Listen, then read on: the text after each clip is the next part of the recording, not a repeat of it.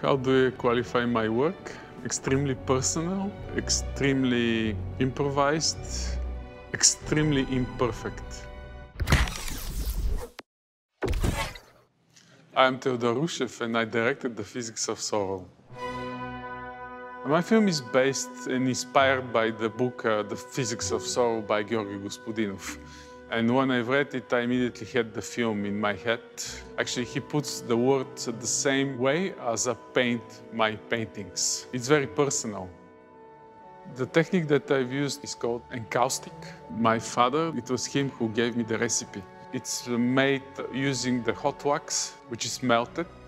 We pour inside the pigments, and that's how I painted it. It was uh, very long.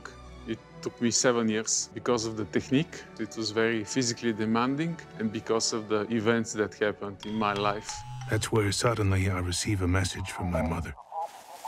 Your father is sick, hospitalized. Call home. Every film has its own story that you can never predict. And that's the beauty of the, of the things, that uh, something happens in your life and uh, it completely changes the line in your film.